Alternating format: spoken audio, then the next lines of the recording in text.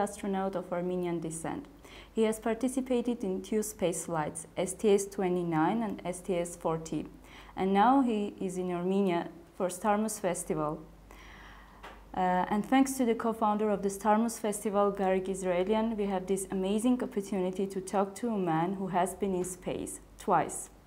And also I would like to thank Infocom team for providing us the technical support and studio to bring this interview into reality.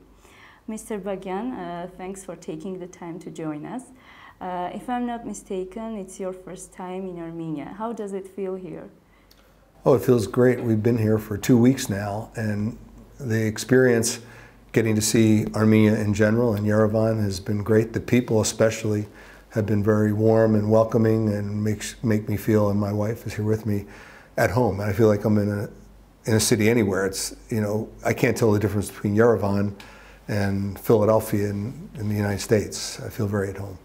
So you have become a hero for the whole nation, like the, our only representative uh, in space. Did you know about that before Starmus, and what did you feel about it?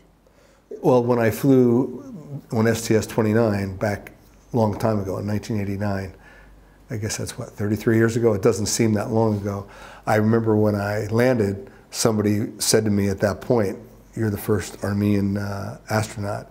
And, and you know, this is the Armenian, I heard from the Armenian community in the United States. And they were very proud of it, and I was, I felt fortunate to be able to do that. Uh, I felt embarrassed in a way because I'm just doing my job.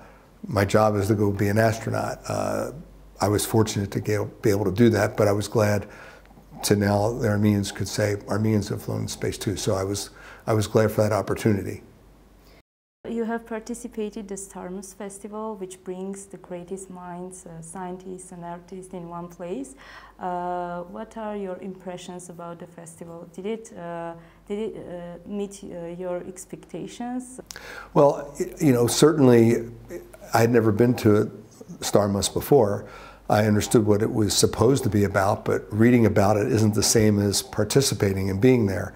I thought it was, not only was is the idea really a good idea, but the way it puts together to take music and the arts along with science, and the fact is there isn't a relationship. They're not separate totally.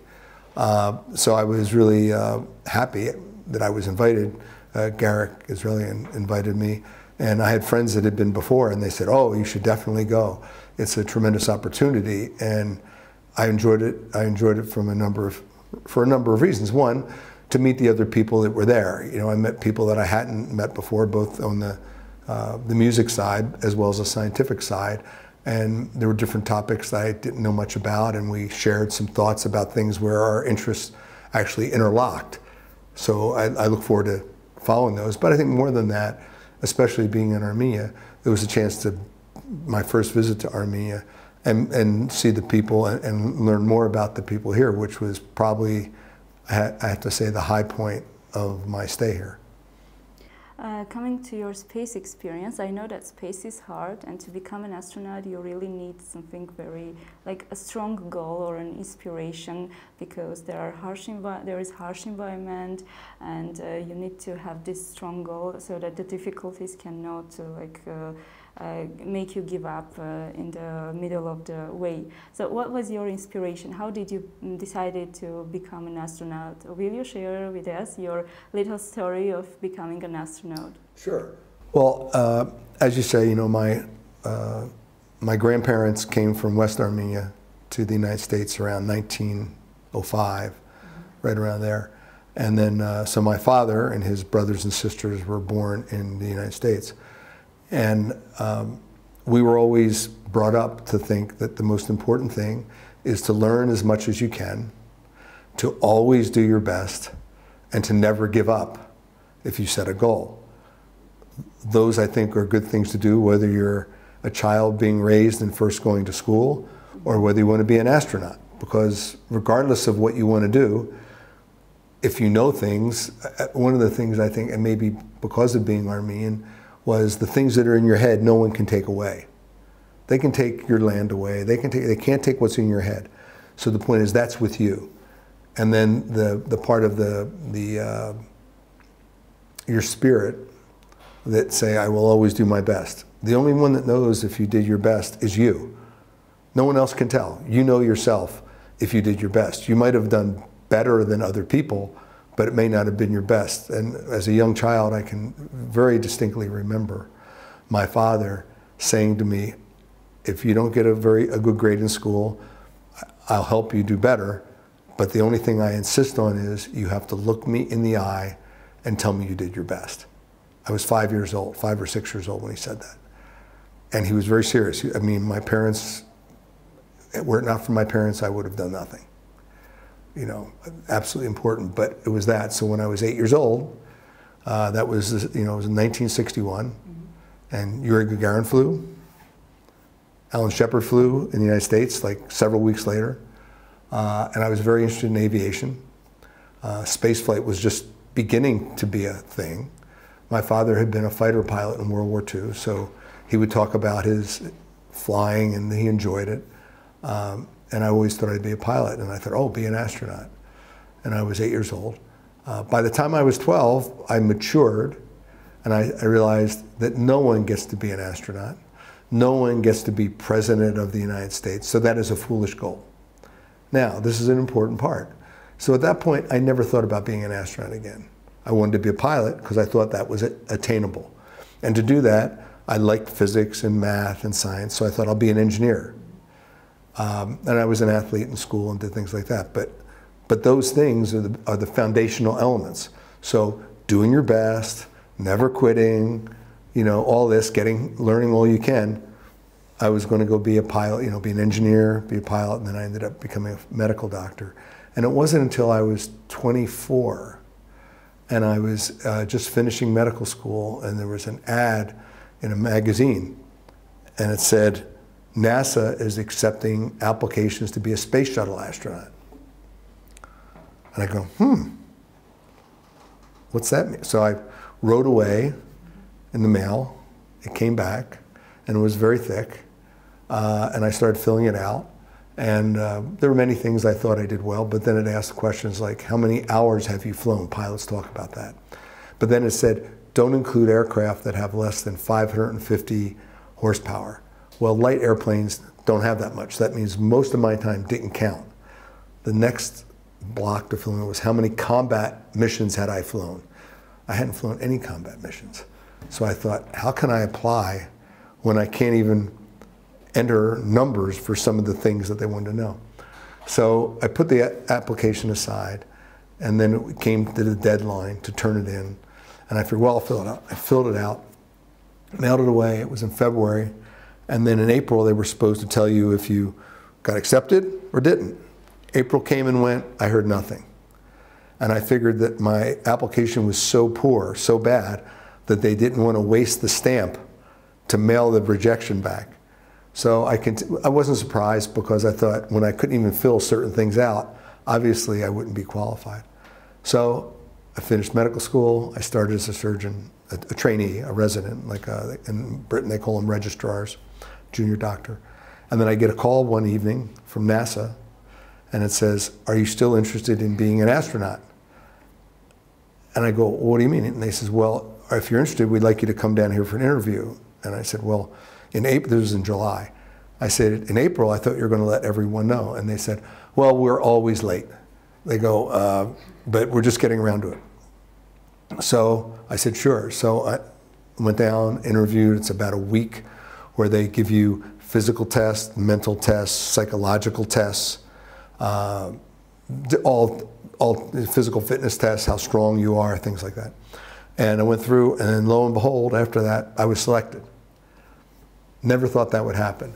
But I, I guess the point here is that even though when I went from being 8 to 12 years old, that I said nobody gets to do that. The things I was doing that I enjoyed still prepared me to be an astronaut. And because I continued to try hard, do my best, and do that, when I, I wouldn't have done anything differently. I mean, if I was going to be an astronaut, all the things I did were fine. And it was just the opportunity came there, and then I, I was lucky. And I would say any astronaut that I know would tell you that they were lucky because there are many thousands of people that apply, and there, there's very many very skilled, very competent people, but it's like anything else. They can't pick everybody. So some of it is just for a reason that's hard to identify, you got selected. So I feel very fortunate.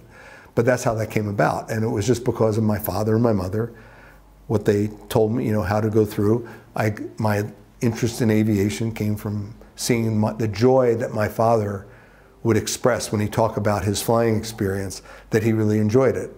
So, as many people do, if they, if they, their parents tell them about things, they might say, "Wow, that sound must be really enjoyable. I'll do it too."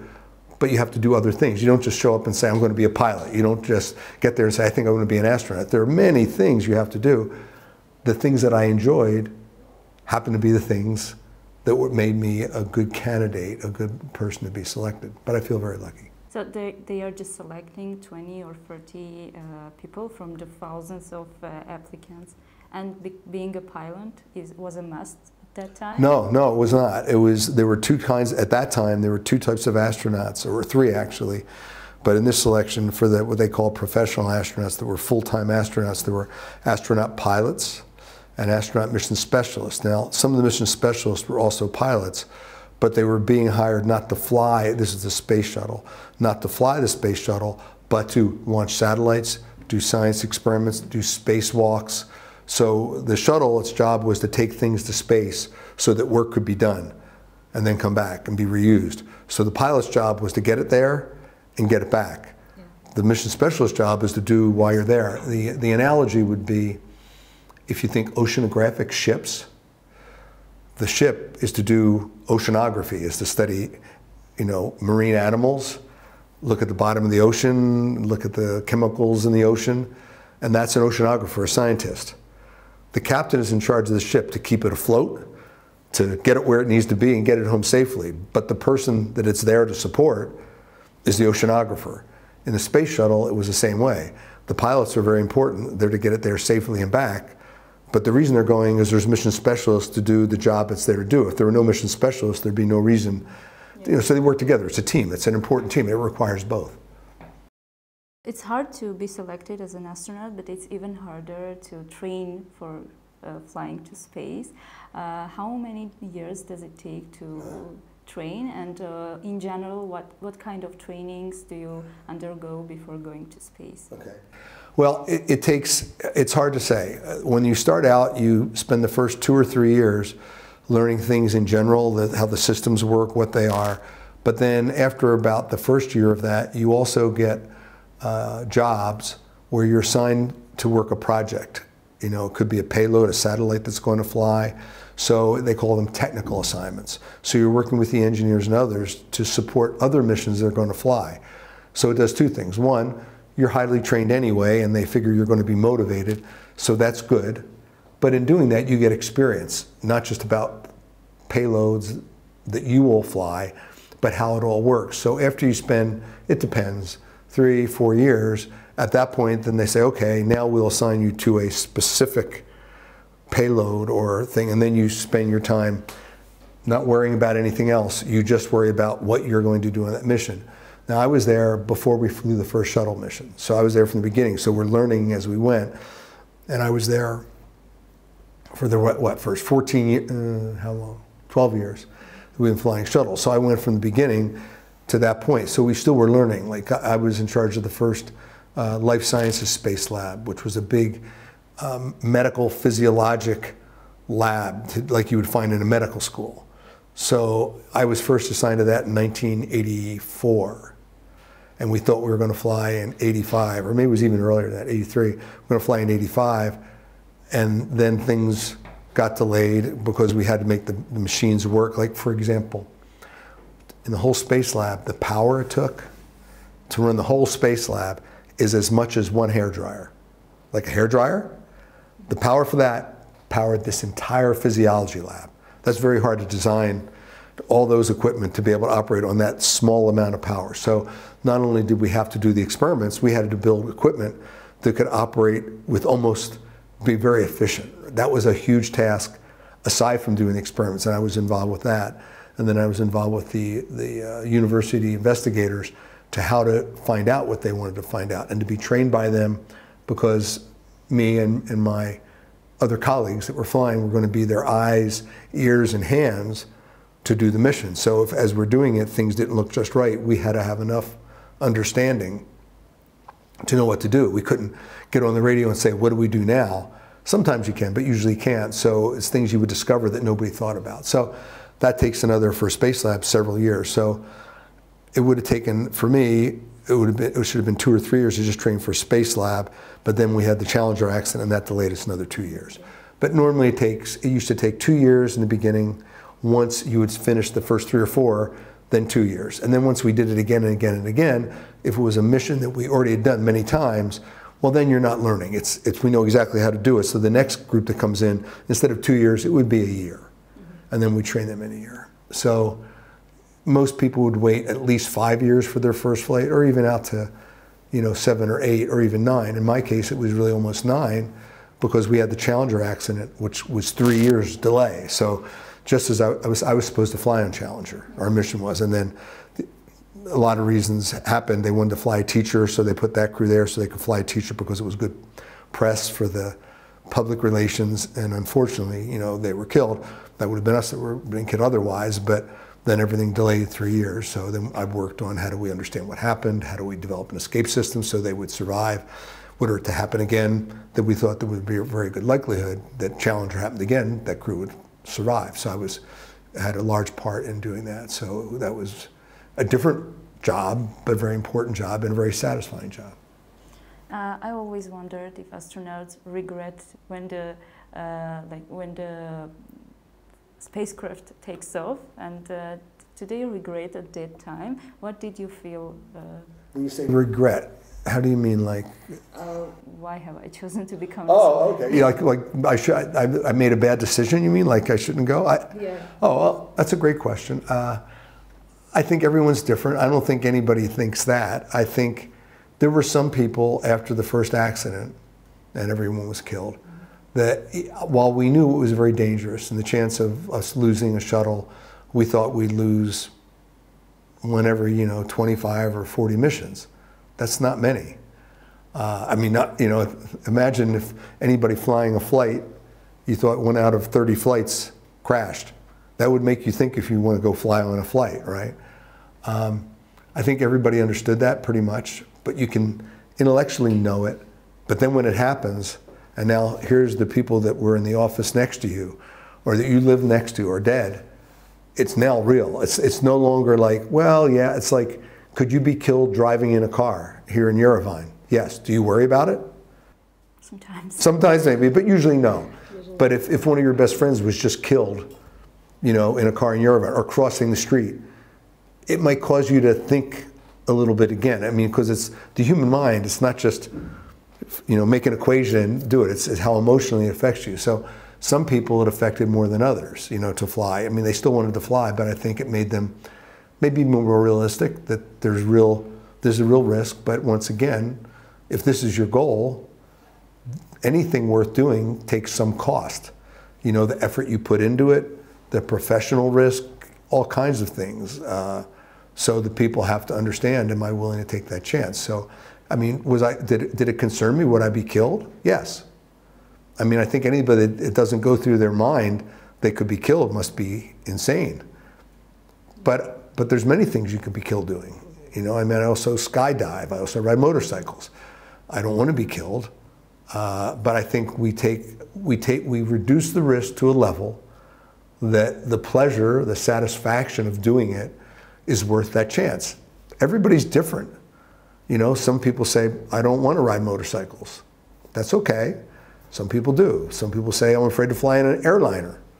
That's okay. They don't have to. But so I think everybody looks at it differently. I think, I think most people understand when they fly, when they say goodbye to their family, that this really might be goodbye, that they won't see them again. I think everybody understands that. Uh, they might all smile and wave to the camera, but it's in the back of their mind.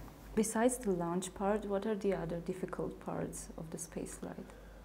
Well, I think as far as difficulty, uh, the challenge, I'll say challenges. Um, there's many things to do on a space flight. And the most precious resource we have is time. We're going to have a certain amount of time we're there. We want to get as much things we can get done as possible. So you're working very hard to make sure you get everything done and even do more if you can. So that means if you're going to do your best, is it ever good enough? Because you could you always do a little more.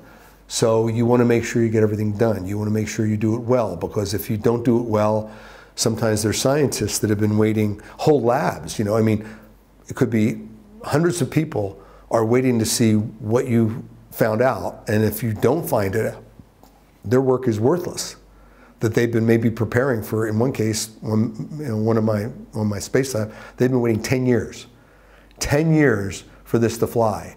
And in fact, on this particular mission, one of our my colleagues ruined their equipment on the first day, didn't use it correctly, and broke it. So here they'd waited 10 years, and it was ruined on the first day of a 10-day mission.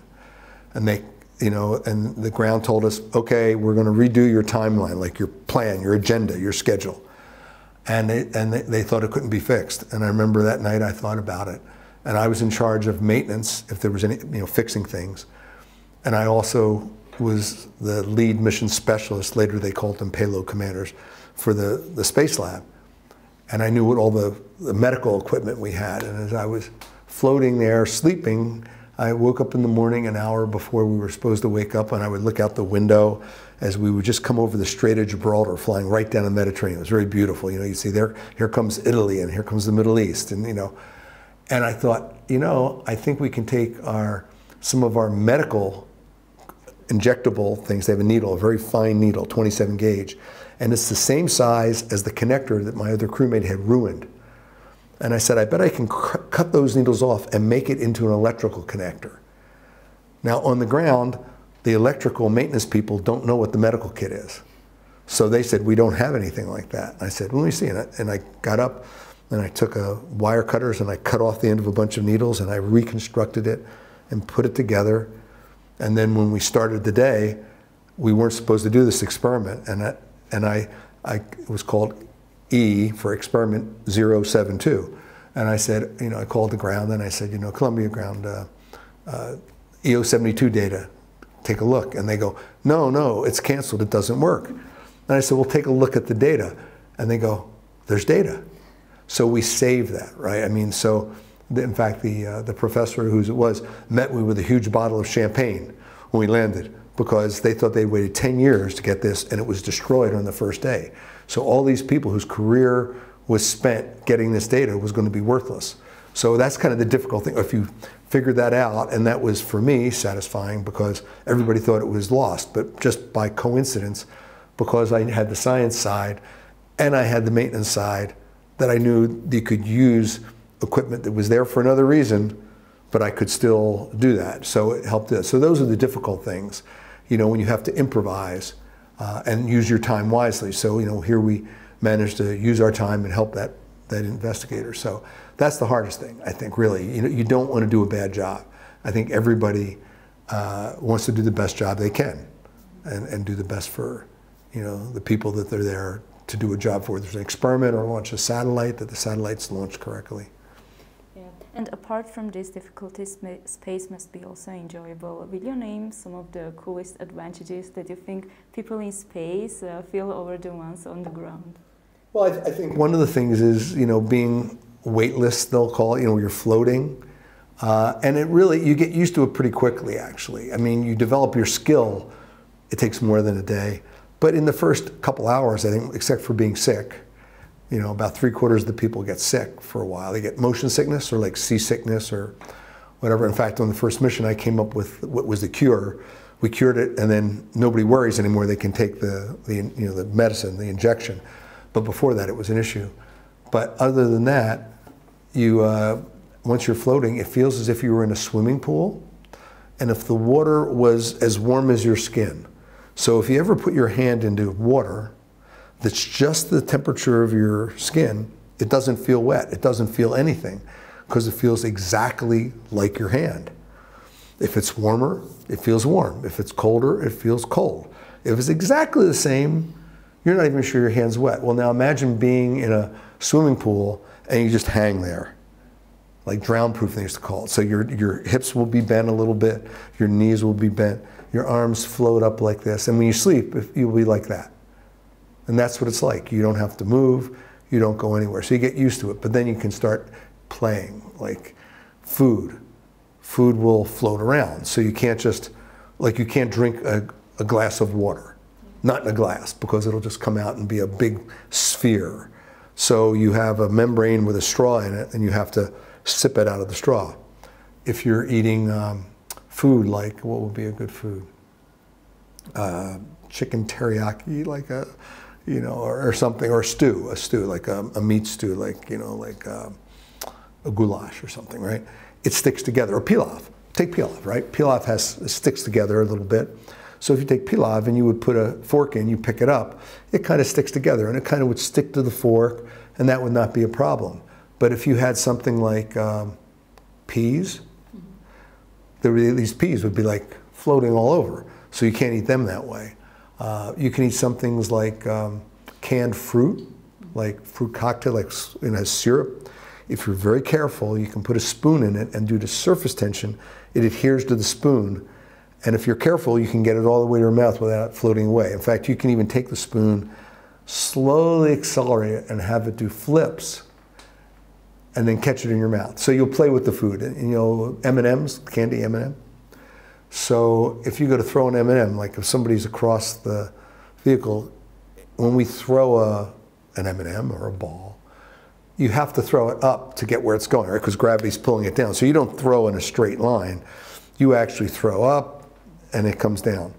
Well, when you go to throw something when you're weightless, your whole life, you've always, you don't think about throwing up. You just know to, you have to throw a little more angle the farther the person is away well, you're in orbit. If I was going to throw you an M&M, I'd probably hit you, you know, on top of your head because I think I have to make it go up. So instead, you throw it like this.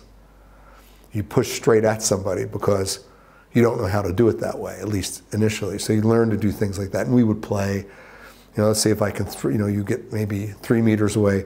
Can I throw an M&M that'll go right in your mouth? So we didn't have much time to play on my flights, but a few times we would do little things like that just to amuse ourselves. So I guess you don't use salt or pepper because.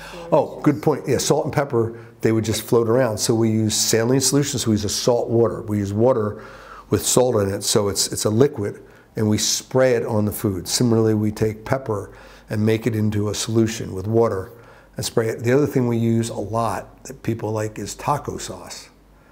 Mexican taco sauce you know, comes in little envelopes, and, and that turns out to be almost like money.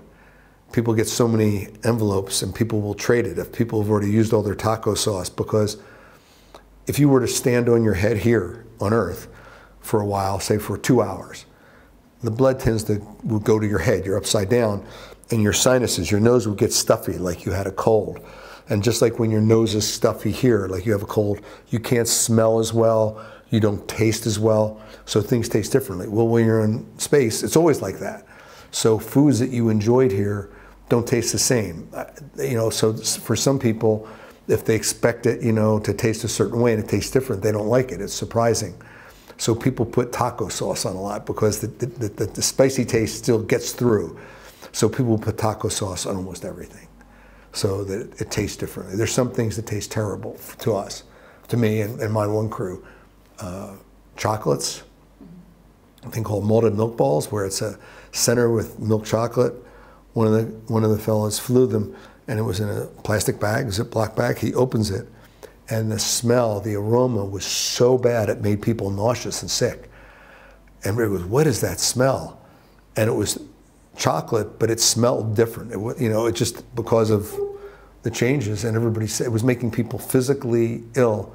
So we said, you have 10 minutes, eat as many as you can eat, and then we're throwing the rest away because it's making everybody sick. So here he was looking forward to having, for the whole mission, eating this chocolate, and made the smell made everybody sick in the in the shuttle. So he had to throw it away. So uh, you have to eat differently. You know, you season things differently, but it's it's not a big deal. I mean, you get used to it very quickly and, and do it. It's not a problem.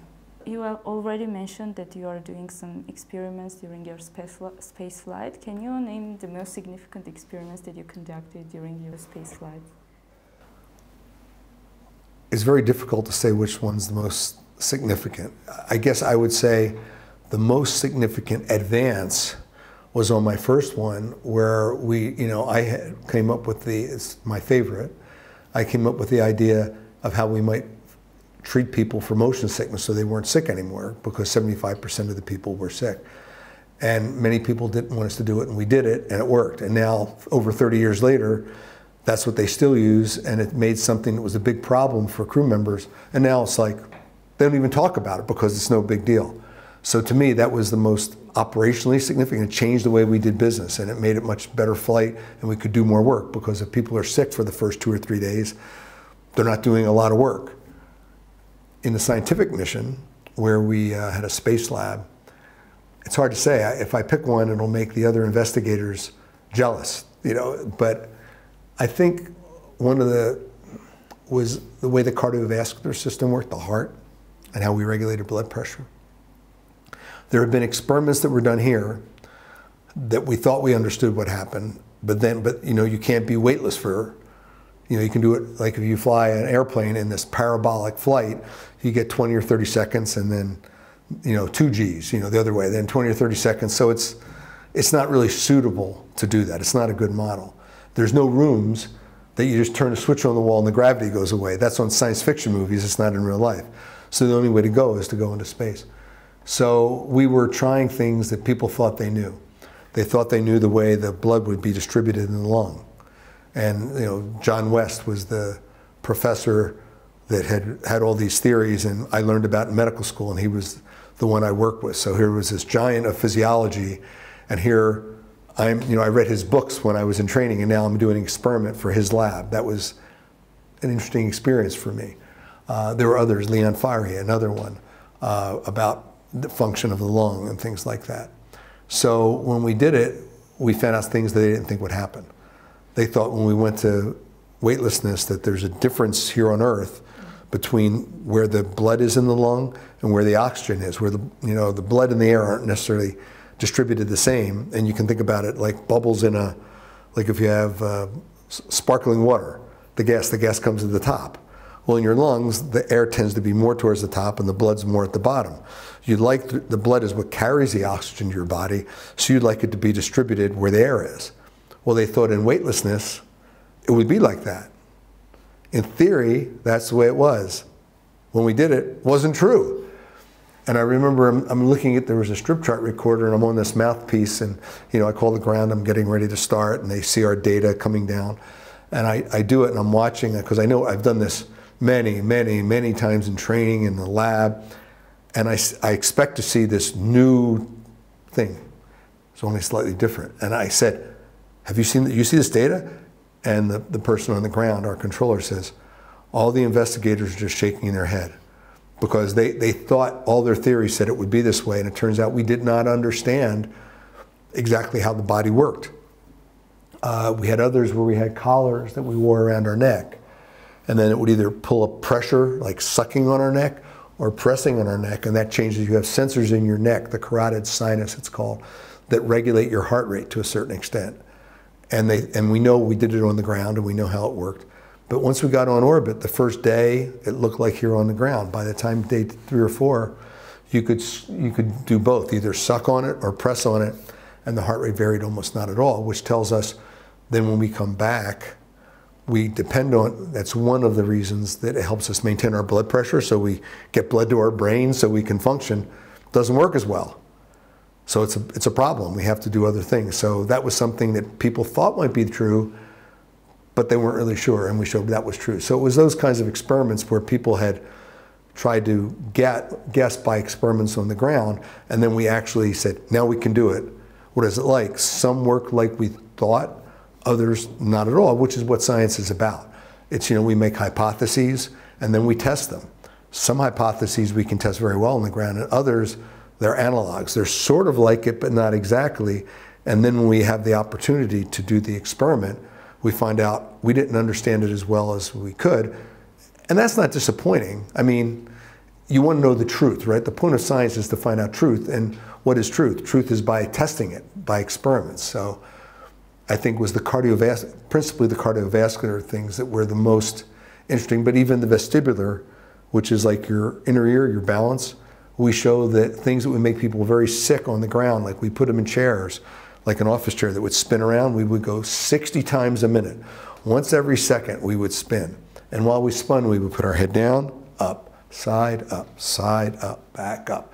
Within a couple of minutes, everybody is violently sick. They're vomiting, almost. Almost everybody vomited, but very, very sick. After we were in orbit for 10 days and you brought people back, you could do that for an hour. They had no symptoms because their central nervous system adjusted after being in zero G. And for a while, this spinning made no difference. People thought that might be the case, weren't sure. Now, if you wait long enough, you wait two or three weeks, and then you try doing it, you get sick again. But when you first come back for about the first five to 10 days, we used to say you're bulletproof. These experiments can be divided like in two kinds uh, for helping uh, to improve uh, people's health conditions in space mm-hmm. and also experiments that are intended to improve uh, health technologies on Earth. Absolutely, yes, because as we understand, you know, some have immediate application there, but then there, there's, there's crossover. That as we really understand the mechanism, we understand that some of our assumptions weren't true. So maybe, for instance, drugs you might want to develop, you say, oh, it's this other thing that really is the pivotal, it's the key to put in the lock, and really we should do it that way instead of this other way. So yes, it, and, and, and the reason for it, really, for most of the physiologic experiments, wasn't so much to fix problems that we were having in spaceflight. It was to understand how does the human body really work. And some things might help us in spaceflight, but really, I think most of the investigators felt that it was the things that we would learn that would help us understand how the human body works here that then would, you know, point out uh, therapies, different things we could do to prevent disease or or treat disease more effectively. So summing up uh, your experience, we can say that uh, people uh, having different professions in science, uh, like uh, go to space, and all of them uh, do experiments regarding to their field. So the space lab is all about that, I guess. Well, no, not exactly. Actually, people have different backgrounds, but usually, while they want people, astronauts, cosmonauts, they want them to have experience in that field usually you can't have enough people that you know, are specialists in neuro, you know, neurological function or in the carotid sinus or whatever. So you need to be trainable. So when they select astronauts, they want they want to see one, uh, do you, are you a hard worker? Two, do you do your best all the time, you know, as much as you can? Are you reliable?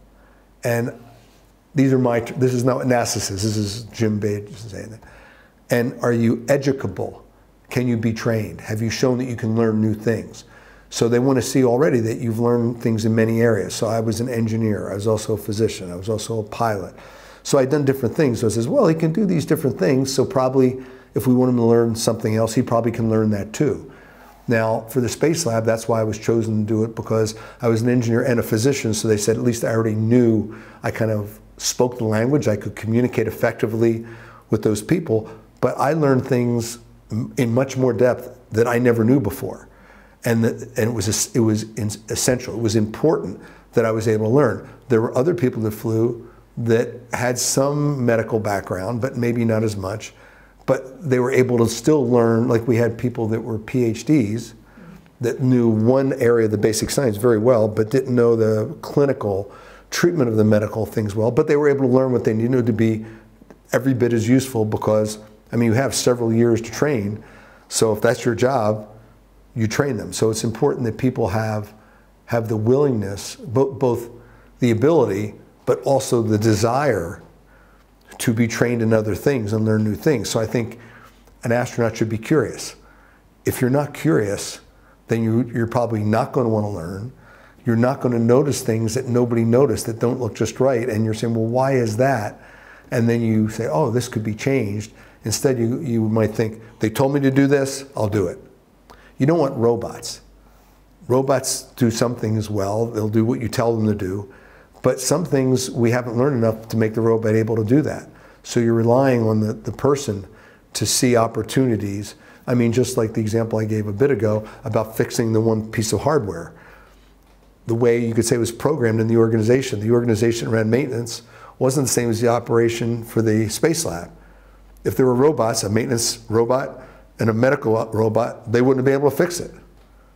But they had somebody that knew both. We didn't plan it that way, but it worked out that way. Does uh, that give a good idea of, I mean, you know, how the human can in the areas that are not as well understood, the crew member, by having a wide background and then in depth knowledge in certain areas, can come up with novel solutions of what's going on that we couldn't plan for. Uh, many astronauts also talk about the overview effect. Uh, it's uh, when they see Earth from the above from 400 kilometers and they think of it like a tiny fragile ball uh, and they start to uh, take more care of it. Uh, do you have the same experience and what do you feel seeing Earth from space? I think, well, one, is beautiful and, and what you can see is um, much better than even like when I flew, it was in the old days so we were using 16 millimeter film. You've heard of film, right? Not video. Now we have high definition video. But even high definition video doesn't have the resolution of a human eye. So the colors, much wider color palette. Um, so that's, you can't see it any other way. So that is one thing, it's just the beauty. When you look out at the horizon, and if you hold your fingers that far apart, you hold it at arm's length, that's how thick the atmosphere looks. It's this brilliant blue, like a neon blue. And you think, we all live in that little bit. You know, here's this huge earth, and we live there. Now, did it make me think, do I take care of the earth better? No. I mean, I always knew that we're, you know, we live on this, it's like our own spaceship. It's the earth, but it's our spaceship. So if we, if I throw chemicals, bad chemicals into a river, the people that live downriver are, get bad water. If I didn't know that, I would be stupid. You know, I should know that. So I don't want to do that. And I would always backpack and hike. So I like nature. I don't want to ruin the habitats for animals. So it, it just reinforced, for me, it reinforced what I already knew but in a real experiential way, you see this there. Like you could see, for instance, I won't say which countries, but you could see the air pollution in some countries around some of their major cities was unbelievably thick. So when you're looking down, there was this grayish cloud, and it wasn't because of weather, it was because of factories, cars, things like that. And you couldn't even see the streets in the city, and you could see downwind, you know, this, this plume of dirty air is hitting a country down here that wasn't doing that. But it's like when I mentioned throwing things in the water and they go downstream. Well, here's the stream of air, and you go, you already knew it was true, but now you look and go, wow, this wasn't like you had to take a long time and look. You just glance and you go. So it, it reinforced that the things that we knew were theoretically true are there. So I, you know, it's not that I didn't think about it, but it's it just shows you we're all on this and what we do, and we always knew it. I think most of us did. What we do affects other people. There's there's a quote. What is it? No man is an island. You know, every man's death diminishes me. I think it's something like that. It's probably wrong. If it's on YouTube, somebody will tell me what the real quote is. But the point is, we're all interrelated. Things that you do can affect other people, and you should kind of think about that because you can unintentionally hurt other people in many things. You know, whether it's environmentally or politically, uh, and everybody has different opinions about what's better for them. And you need to try to understand from the other person's perspective, everyone's not evil. They might want to do something different than I want to do, but they might have reasons. So maybe the first thing to do is understand why are they doing this? You know, and maybe we're disagreeing and we don't need to disagree so much. Uh, and that that's everything from science things to environmental or political. So I think it reinforces those things things that we probably knew anyway, but it makes it, you know, in the forefront of your mind. Uh, speaking about the future, there will be a lot, many, many space flights, not only to near Earth orbit, but also to Moon, mm -hmm. Mars, and other planets or other moons. Yes. Uh, do you think there will be a huge demand for physician astronauts because space is dangerous and a lot of pro problems can harm their health? And would you like to have a group uh, of physicians to train uh, to become a physician astronauts of the future? Well, when I was in the astronaut office in the United States, the, of people with a doctoral level education, you know, so PhD or MD, you know, the, the highest percentage of doctoral level education were physicians. I mean, there were people with PhDs in engineering, but what kind? Like mechanical engineer, electrical. if you counted those as different categories, they were small numbers compared to physicians. Most of the physicians were also engineers, which I think was a very good thing because it's human spaceflight. So what we're doing, it's different than flying a telescope, like you know the James Webb Space Telescope. That's a huge engineering achievement, unbelievable, huge engineering achievement. But once it's there and running, there's no people there. There's people on the ground. People designed it, people built it, and they were hugely important. But now once it's there, it's doing its thing. Um, when we're doing human spaceflight, as you say, going to the orbit, going to the moon, going to Mars, they're people. It's very much easier to send a rocket with nobody on it. You don't have to have a life support system. You don't have to have an atmosphere with oxygen. You don't have to have food. You don't have to take the carbon dioxide out of the air. You don't have their human waste dispose of. You just have to usually give it electrons for the computers. That's all it needs. It doesn't need anything more than that. And to keep it not too cold, not too hot. So much of the way we design spacecraft that take humans, a lot of the expense, a lot of the space is for the humans. So to be involved in exploration with humans and not be a physician, then you don't understand what humans are doing. I mean, you can try to, but not at the same level a physician would. So the ideal thing is if physicians, in general, there are exceptions, but in general, if you have physicians that are only physicians, and there's some people who do aerospace medicine, that's their specialty, and they're much more experienced. And then you have the engineers, when they talk to each other, are they understanding each other?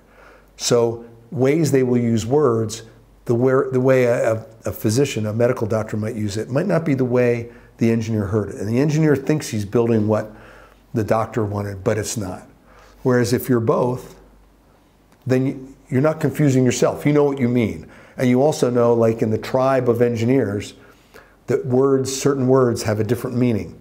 And you're careful to use the word in a way that they understand. And similarly, if the engineer says something, what does that mean? Like, for instance, in medicine in the US, somebody say, Can you appreciate this heart sound. What does appreciate mean? In English, most things appreciate mean like, do you like it? Right? When a doctor says it means, can you hear it? So if I said to an engineer, can you appreciate the heart rate? And he goes, like, do I like the fact that my heart beats? You know, but that's like a jargon. That's the physicians will say that. But if I was there, I'd say, no, what, you, what, they mean is, you know, can you hear the heart sound through all the static noise? I, that's a, an example. So I think there's a, certainly a place for it. There actually is, there is a specialty in medicine called aerospace medicine. It's part of preventive medicine. And it's getting much more attention now because of spaceflight. I mean, it was always used for flying airplanes, and it was very pivotal, and it got its biggest uh, emphasis during the wars, during World War I, especially World War II, where they were learning how to let people physiologically be able to fly airplanes. Now we understand that pretty well. You know, not that we can't understand more, but it's pretty good. Spaceflight, not so much. So, uh, in fact, at the University of Michigan, where I'm a professor, we have a course, you know, for our, our medical students about aerospace medicine, and there are courses at other places like the University of Texas Medical Branch in Galveston, Texas, and others for physicians to learn that. So it's, it, I think they will be needed. I think on space flights, I don't know you always need them because the amount of things you can do if you think about it this way. So you're going to Mars. So you want to be able to diagnose if somebody has a problem, what it is. But it only matters if you can diagnose something you can fix or to predict what will happen down the line. Like suppose I have stomach pain. So my stomach hurts. Big deal. If I know this is something that I can treat and make them better, that's a good thing. If, if I know it's something that needs to be treated, but it takes some wild surgery that I can't do, so I know it. I can't stop it. So I think the skill level you need in general to actually, is it, is it for diagnosis and planning or is it for therapy to treat them? There's not much we can do about therapy and treating them. So we have to make sure whoever's there understands in the actual flying part enough to understand do they have a problem and can we treat it based on the austere environment we're in. We're not in a major hospital in Yerevan. We're in a small little, it's like in the back of a, a recreational vehicle, a trailer, a caravan we're in. You know, we don't have a huge place to work. So you only have to know enough to say, is it something I do something about? Will this affect us being able to get done our mission? Should we decide I'm supposed to do a spacewalk and I say, oh no, that'll be bad for you, but we should have you do it. That would be helpful. But if it's, I need I have a clot in my brain and I need to be operated. I said, well, there's nothing we can do. Too bad for you. So it varies. Right now, we don't always fly a physician on the on the station. We didn't fly in the shuttle, but we trained our astronauts to know enough to be able to do that. So they were able to adequately treat whatever happened. Now, if we ever get to the point where we really can do, we're going to live on the moon for years at a time, or Mars years at a time, and we don't want to bring people back, then we'll have to say, do we want to be able to do these much more complicated things? And then I think you'll need to have that. So I think it depends. They need to have knowledge, absolutely.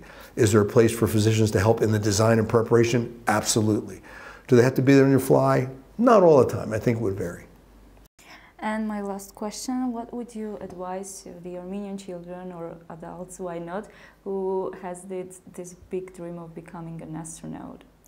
Well, I think just as I described before, when I was eight years old, I wanted to be an astronaut. And then I was foolish and thought, no one can be an astronaut. However, I still said it was important to do things I thought I enjoyed, that I had a passion for, and then try your hardest, do your best, and not give up.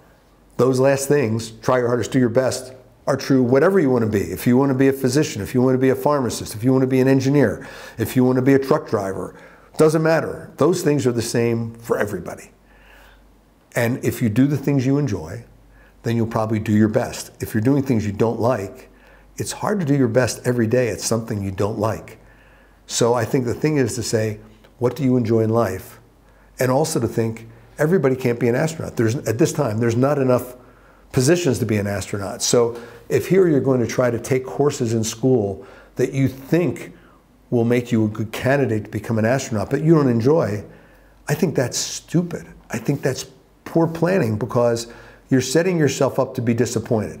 So if you think thousands of people want to be an astronaut and they apply, say like last time, 8,000 people applied, they took, I think, 10 or 20. So I'm sure that more than 20 people were qualified. So all those other people didn't get to be an astronaut. If they were doing everything in their life to that point that they did not like, they just did it because they thought it would make them an astronaut, think how sad you would be. Think how you'd feel like your life, that the, the 10 years in university and training for nothing. I think that's ridiculous, personally. Now, some people do that, but I, I see many people that have done that and then aren't picked and they feel like their life is a failure, that they've wasted years. Many more people I see, they did what they were interested in. And not, and I wanted to be an astronaut, but then I didn't have it as the front thing to be. It was still there. And then when the opportunity arose, I had done all these things that I wanted to do because I found them interesting, stimulating. And oh, and that made me a good astronaut. That's a, a good thing. So even if I weren't selected, yes, I would be disappointed, but it wouldn't be like, why did I go to school to be an engineer? Why did I go to school to be a, a medical phys- uh, doctor? Why did I go to pilot training? I didn't get to be an astronaut. I'm a failure. That wouldn't have been the case. I would have been disappointed. Whereas if I only did those things to be an astronaut, but didn't like being an engineer, didn't like math, didn't like physics, you know, I didn't like physiology, what a sad life I would have. So I think the key is, and I think most astronauts I hear talk to children, they go, find what you enjoy and then do your best. You know, and if you're not sure, well, if you want to be an astronaut, then math and science is very important. So try it. If you really don't like it, then you probably should look for something else. There's many other careers that are fulfilling, that society needs, that will fulfill you, do those. They're, they're worthwhile too. I mean, suppose you want to be a, a, a musician. You don't, you know, actually physics is in, math, in music, but it, not the same kind. You know, you could be a great musician and have a, a wonderful life. You know, it would be a shame for somebody who wants to be a musician, make themselves do math and science, not be selected as a, as a astronaut, and then always wish they had been a great musician and now they're sad that they can't do it. I think that'd be the, a huge disappointment for them, for the people close to them. So I think find what you like, work hard, do your best every day. That's the answer. Thank you, Mr. Bagian. I'm sure that a lot of children are already inspired from your lectures during the Starmus Festival, and maybe one of them accomplishes his or her big dream of becoming an, an astronaut, and maybe when he will be asked in future, how did you get inspired? Like I asked you during this uh, interview, he can say, uh, Jim Bagian arrived to Armenia and gave this amazing lecture how cool the space is, and then I decided to become an astronaut. Well, if if that were the case, that would make that would probably be the best thing to come out of anything I did at NASA. Not for the things I did there, but to motivate children to realize that nothing is impossible. I think that's the real key. And for people to understand that they can they can be a world beater. That you know, you're the one that determines in large part are you successful or not, not other people, you. And it's all here in your head. And you need to tell yourself that. It doesn't mean every day is fun. I mean, there were times when I was an astronaut that I'm going to work. I didn't say, this is the most fun thing I ever did. No.